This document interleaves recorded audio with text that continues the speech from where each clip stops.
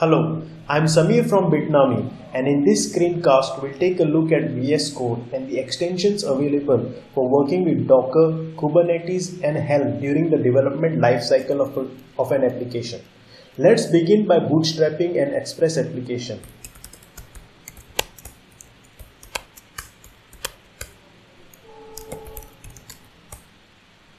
And let's set up a Git repo.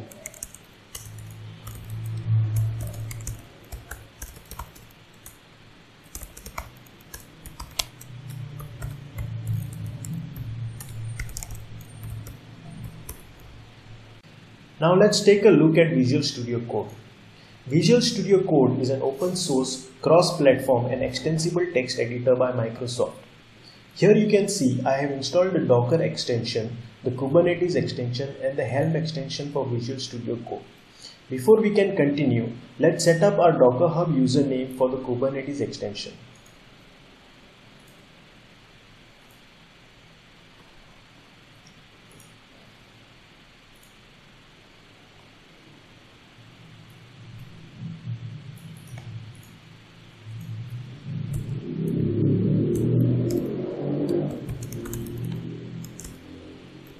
Save.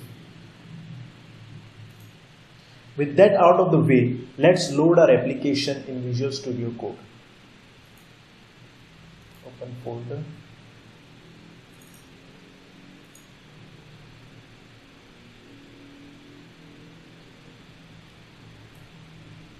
Our bootstrapped application does not include a Docker file or a Docker Compose file. So let's use the Docker extension to create these files. Open the command palette and type docker add docker files to workspace. Ours is a Node.js application and we want the port 3000 exposed. As you can see, the extension has created the docker file and the docker compose files. Let's commit these files to our project. VS Code has built-in support for Git, so we can commit these changes without leaving the editor. So let's add this to our project.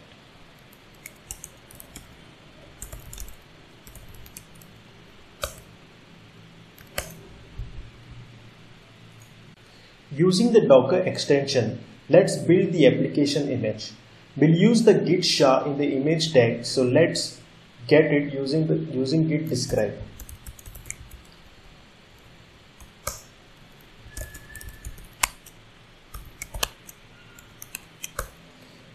We'll use this SHA in our application image tags. Again, root the command palette and type docker build. Give a name for an image and the SHA. Once the image is built, we can launch image using docker run.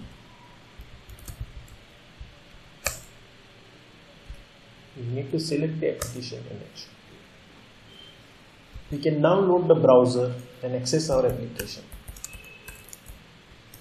on port 3000. There you have it. We can also push the Docker image to the Docker hub using the Docker extension like so.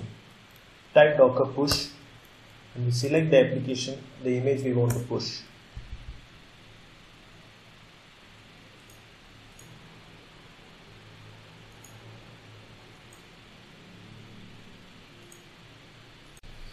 Now let's take a look at the Kubernetes extension.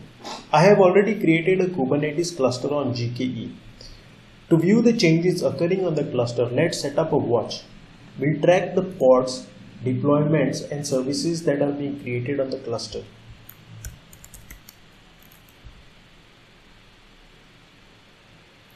Using the Kubernetes extension, we can easily deploy our application to the cluster. Open the command palette and type kubernetes run. Here we can see the my app being built.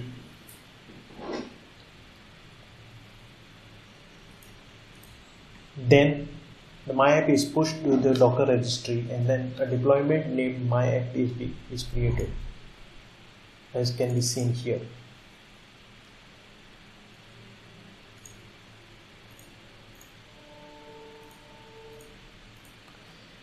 Now let's load the manifest that was used to create the deployment using kubernetes load deployment my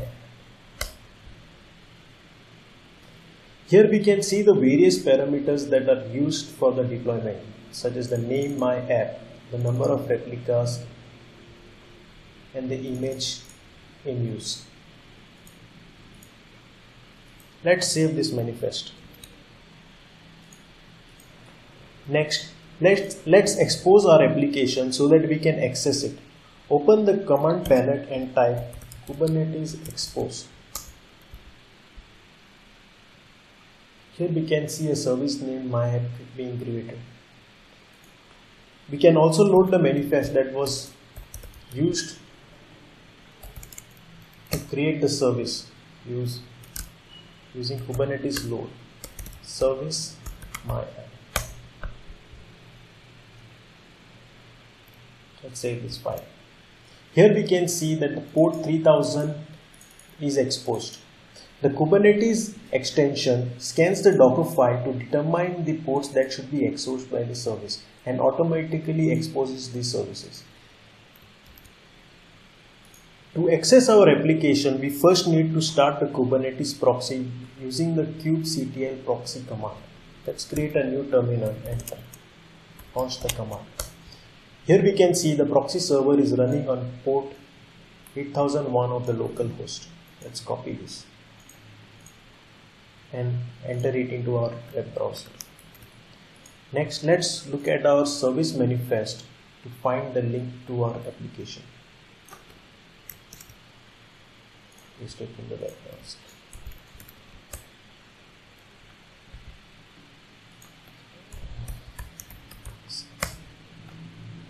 As you can see, we are now able to access our application through the proxy. And finally, let's see how we can update our application. First, let's commit the manifest file to our repo.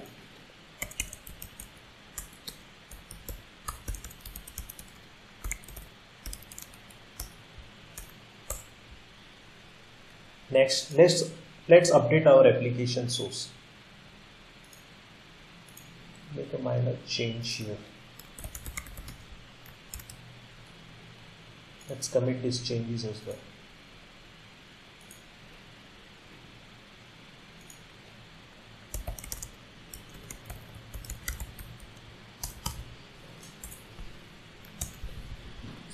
Now we'll build the application image using the Docker extension.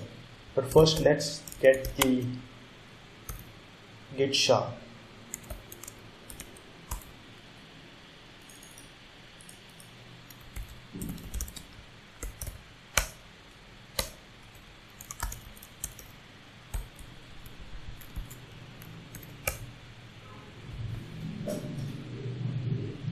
now let's push the image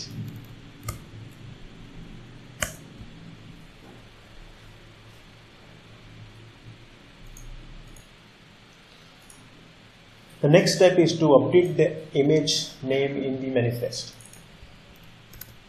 Save and now we say Kubernetes apply.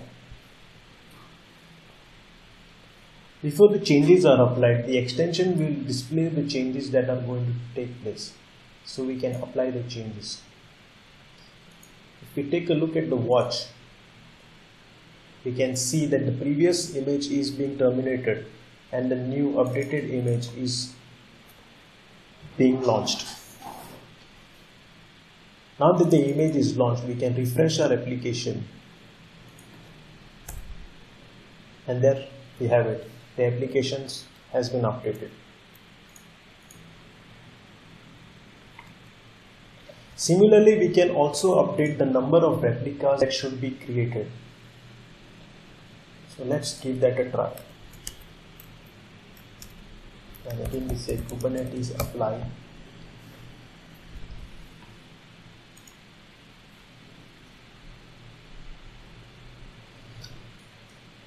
To remove this error, you need to delete this line.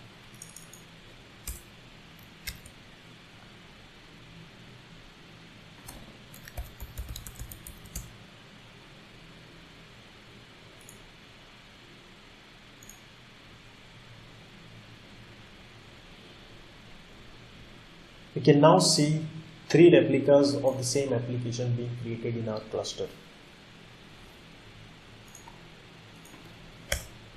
Everything works as expected. Now finally, let's take a look at the Helm plugin. The Helm plugin can be used to, to bootstrap a Helm and Helm chart. So let's use the Helm plugin to create a new chart named my app.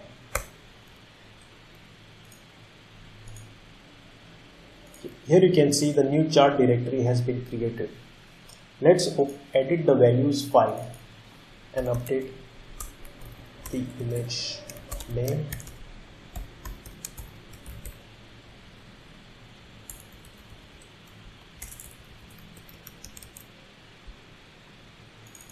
Service name. The external port is 3000 and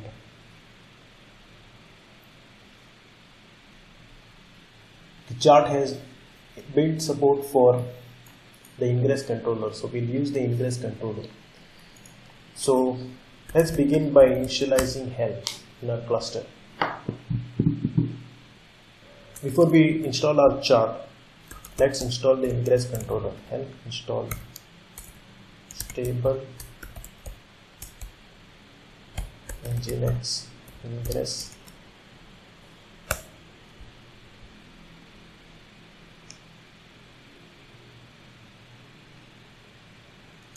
if we look at our watch we can see the ingress controller is being set up.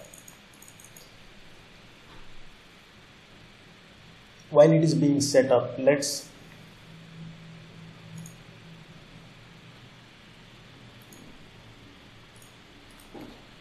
change the host to my app.local and install the Helm chart.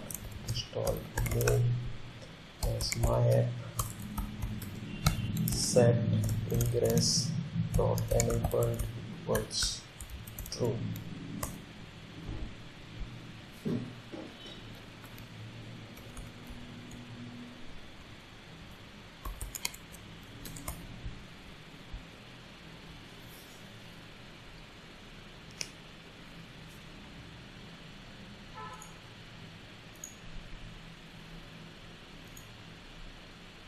The ingress controller has the following external IP. So let's set up a domain for this controller. sudo etc hosts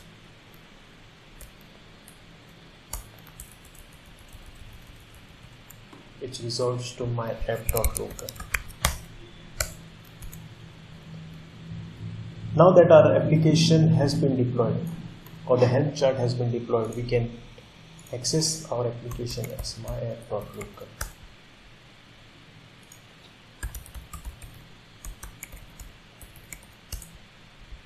There you have it.